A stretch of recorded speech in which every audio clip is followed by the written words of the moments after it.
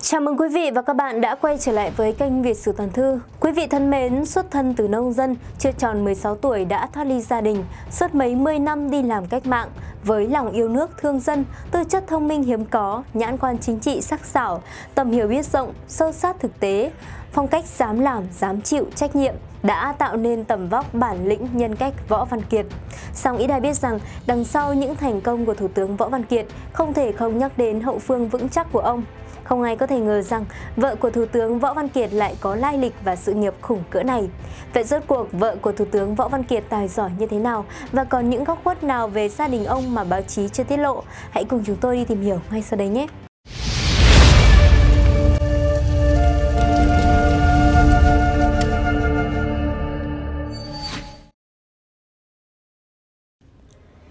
là người đóng vai trò động lực trong cuộc cải cách kinh tế ở Việt Nam khởi đầu giữa những năm 1980.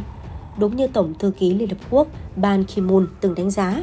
Võ Văn Kiệt đã mở đường cho sự chuyển mình của đất nước từ đói nghèo sang một thập kỷ tăng trưởng kinh tế đầy ấn tượng. Song ít ai biết rằng, đằng sau những thành công của Thủ tướng Võ Văn Kiệt, không thể không nhắc đến hậu phương vững chắc của ông. Không ai có thể ngờ rằng vợ của Thủ tướng Võ Văn Kiệt lại có lai lịch và sự nghiệp khủng cỡ này. Vậy rốt cuộc, vợ của Thủ tướng Võ Văn Kiệt tài giỏi như thế nào? Còn những góc khuất nào về gia đình ông mà báo chí chưa tiết lộ? Chúng ta hãy cùng nhau đi tìm hiểu ngay sau đây. Đồng chí Võ Văn Kiệt, tên thật là Phan Văn Hòa, bí danh Sáu Dân, sinh ngày 23 tháng 11 năm 1922 tại xã Trung Hiệp, huyện Vũng Liêm, tỉnh Vĩnh Long, trong một gia đình nông dân nghèo sinh ra và lớn lên trên mảnh đất giàu truyền thống văn hiến, yêu nước, đấu tranh chống áp bức cường quyền. Nên khi tuổi đời còn rất trẻ, đồng chí đã sớm hình thành tư tưởng yêu nước, giác ngộ cách mạng.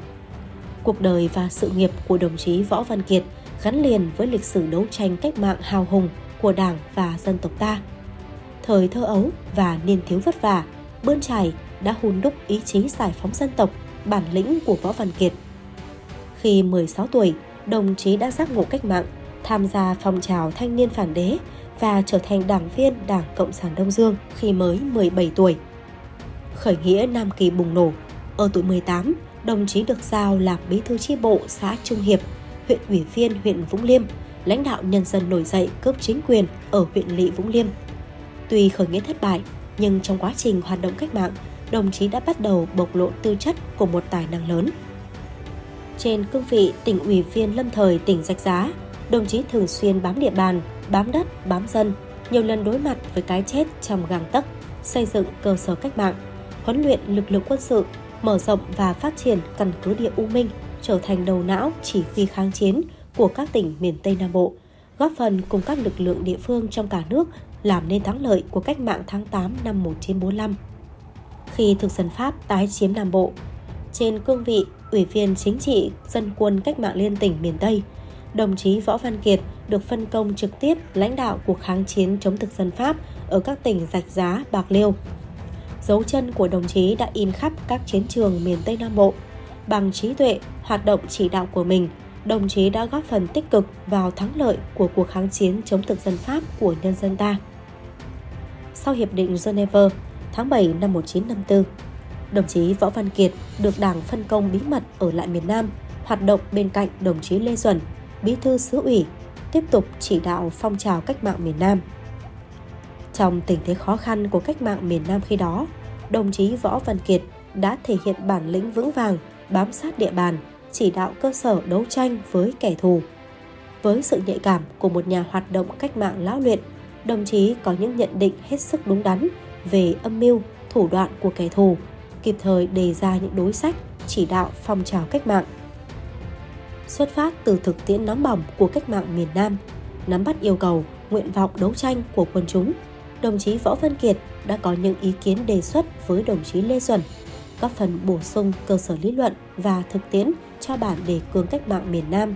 để từ đó Đảng ta nghiên cứu, hoàn thiện cho ra đời nghị quyết 15 lịch sử, thổi bùng lên phong trào đồng khởi, tạo bước ngoặt quan trọng của cách mạng miền Nam. Mùa xuân năm 1975, trong chiến dịch giải phóng Sài Gòn, trên cương vị Ủy viên Đảng ủy đặc biệt của chiến dịch Hồ Chí Minh, đồng chí đã cùng Bộ Tư lệnh chiến dịch chỉ huy năm cánh quân thần tốc tiến vào thành phố, phối hợp với sự nổi dậy của nhân dân, buộc chính quyền Sài Gòn phải đầu hàng vô điều kiện, hoàn thành sự nghiệp giải phóng miền Nam, thống nhất đất nước. Sau ngày đất nước thống nhất, trên cương vị Phó Bí thư Thành ủy, Chủ tịch Ủy ban nhân dân thành phố Hồ Chí Minh, rồi Bí thư Thành ủy, đồng chí đã cùng lãnh đạo thành phố đưa ra những quyết sách hết sức năng động, phù hợp với tình hình thực tiễn, từng bước tháo gỡ khó khăn, đưa thành phố dần đi vào ổn định, để rồi sau đó trở thành đầu tàu kinh tế của cả nước.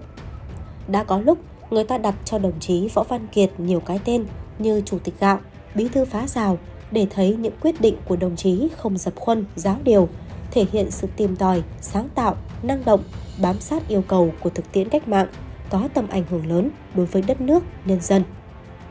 Sau này, trên các cương vị chủ nhiệm Ủy ban Kế hoạch Nhà nước, Phó Chủ tịch thứ nhất Hội đồng Bộ trưởng, Chủ tịch Hội đồng Bộ trưởng, Thủ tướng Chính phủ nước Cộng hòa xã hội chủ nghĩa Việt Nam, đồng chí luôn hoàn thành xuất sắc những nhiệm vụ mà Đảng và nhân dân giao phó, xuất phát từ tấm lòng vì nước, vì dân. Trước khi đưa ra một quyết định quan trọng nào, đặc biệt là những quyết định có tác động, ảnh hưởng đến phát triển kinh tế đất nước và đời sống nhân dân, đồng chí đều chú trọng tập hợp và lắng nghe các chuyên gia, nhà khoa học và tự mình bỏ nhiều công sức nghiên cứu, tham khảo kinh nghiệm tích lũy từ cuộc sống của mọi tầng lớp nhân dân. Chính vì vậy, khi vận dụng vào thực tiễn chỉ đạo, những chủ trương, chính sách của Đảng và Nhà nước đã nhận được sự đồng thuận, ý Đảng, lòng dân, phát huy hiệu quả, góp phần đưa sự nghiệp đổi mới của đất nước ta đạt được những thành tựu to lớn có ý nghĩa lịch sử. Đồng chí Võ Văn Kiệt là một người cộng sản luôn đặt lợi ích của nhân dân, của Tổ quốc lên trên hết trước hết. Suy nghĩ và việc làm của đồng chí luôn thể hiện sự chăn trở của một công dân, một nhà lãnh đạo, người đứng đầu chính phủ đau đáu vì tiền đồ phát triển của đất nước. Đồng chí không say xưa với những thắng lợi mà luôn tìm tòi theo cách nghĩ khám phá, đột phá, sáng tạo. Mỗi khi nhắc tới cuộc đấu tranh đầy hy sinh, gian khổ, khó khăn vì độc lập, tự do của Tổ quốc, đồng chí luôn chăn trở Đảng phải làm gì cho dân để đáp ứng lại sự hy sinh to lớn và vô giá đó. Song ít ai biết về góc khuất đời tư thầm lặng của Thủ tướng Võ Văn Kiệt. Ông có hai đời vợ, người vợ đầu của ông, bà Trần Kim Anh, con thứ sáu của một điền chủ, lấy nhau lúc bà 17, ông Kiệt 27 tuổi. Bà có với ông bốn người con, Phan Trí Dũng, sinh năm 1951, Phan Hiếu Dân, sinh năm 1955, Phan Thị Ánh Hồng, sinh năm 1958 và Phan Chí Tâm, sinh năm 1966. Năm 1966, bà cùng hai con nhỏ, một trai một gái đã thiệt mạng khi quân đội Hoa Kỳ bắn chìm tàu Thuận Phong trong một cuộc càn quét qua chiến khu Củ Chi. Võ Văn Kiệt đã muốn khi chết, cho của mình được giải xuống khúc sông mà hai người con và người vợ của mình đã mãi nằm lại đó. Sau này, cho cốt tượng trưng của ông được đốt từ di ảnh và những di vật quen thuộc của ông được giải xuống đoạn sông Sài Gòn chảy qua huyện Củ Chi, nơi vợ con ông bị giết hại. Phan Trí Dũng, người con cả của ông, hy sinh ngày 29 tháng 4 năm 1972 tại Sóc Trăng trong một lần đi trinh sát. Ngoài bốn người con với người vợ đầu, ông còn một người con sinh năm 1952 ở miền Bắc tên là Phan Thanh Nam, sinh ngày 25 tháng 2 năm 1952 người đã thay mặt gia đình đọc lời cảm tạ trong lễ tang ông. Mẹ của Nam là bà Hồ Thị Minh, chủ bút đầu tiên của tờ Phụ nữ cứu quốc Nam Bộ. Người vợ thứ hai của ông lấy nhau năm 1984 là giáo sư tiến sĩ hóa học Phan Lương Cầm, giảng viên Đại học Bách khoa Hà Nội. Bà Phan Lương Cầm sinh ngày 5 tháng 3 năm 1943 tại thành phố Huế, tỉnh Thừa Thiên Huế, Việt Nam. Bà là giảng viên của trường Đại học Bách khoa Hà Nội từ năm 1965 Năm 1968, bà được nhà nước cử đi làm nghiên cứu sinh tại Đại học Tổng hợp Quốc gia Moscow mang tên MV, Lomonosov Liên Xô. Sau khi bảo vệ thành công luận án tiến sĩ về chuyên ngành điện hóa, ăn mòn kim loại, đầu năm 1973, bà về nước và tiếp tục công tác giảng dạy và nghiên cứu tại trường Đại học Bách khoa Hà Nội. Trong hơn 4 thập kỷ giảng dạy và nghiên cứu khoa học, giáo sư tiến sĩ Phan Lương Cầm đã đào tạo rất nhiều các khóa sinh viên, thạc sĩ và tiến sĩ, chủ trì nhiều công trình khoa học có ý nghĩa. Trong đó có nhiều đề tài và dự án khoa học cấp nhà nước, đề tài hợp tác quốc tế về nghiên cứu khoa học, đề tài ăn mòn VH8, hợp tác giữa Việt Nam và Hà Lan năm 1980. Bà cũng là tác giả của bằng phát minh sáng chế bằng giải pháp hữu ích. Ngoài công tác giảng dạy và nghiên cứu, bà còn là người sáng lập và là giám đốc Trung tâm Nghiên cứu ăn mòn và bảo vệ kim loại Trường Đại học Bách khoa Hà Nội từ năm 1996 cho đến năm 2008 khi bà nghỉ hưu. Bà Phan Lương Cầm là nữ giáo sư, tiến sĩ đầu tiên của Trường Đại học Bách khoa Hà Nội.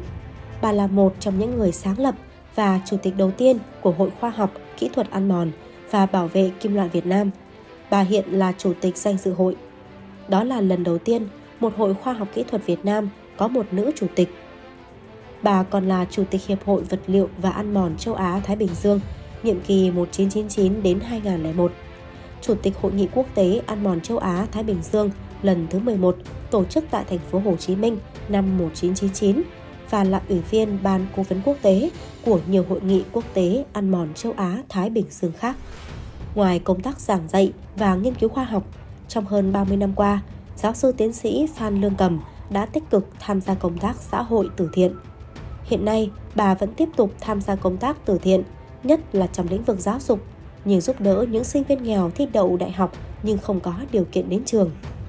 Ngoài việc ủng hộ học bổng, giáo sư còn nhận hỗ trợ và giúp đỡ một số sinh viên có hoàn cảnh khó khăn trong suốt các năm học. Bà Phan Lương Cầm được nhận giải thưởng Kovalevskaya năm 1995, huân chương lao động và nhiều huy chương bằng khen vì những công hiến của bà trong sự nghiệp giáo dục, sự nghiệp khoa học công nghệ, sự nghiệp vì sự tiến bộ của phụ nữ và bảo trợ trẻ em. Quý vị thân mến, giáo sư tiến sĩ Phan Lương Cầm là nhà khoa học nổi tiếng trong lĩnh vực điện hóa, ăn mòn kim loại của Việt Nam. Phu nhân của cố Thủ tướng Việt Nam Võ Văn Kiệt, bà Phan Lương Cầm được nhận giải thưởng năm 1995, huân chương lao động và nhiều huy chương bằng khen vì những công hiến của bà trong sự nghiệp giáo dục, sự nghiệp khoa học công nghệ, sự nghiệp vì tiến bộ của phụ nữ và bảo trợ trẻ em. Cảm ơn quý vị đã quan tâm theo dõi. Xin kính chào và hẹn gặp lại.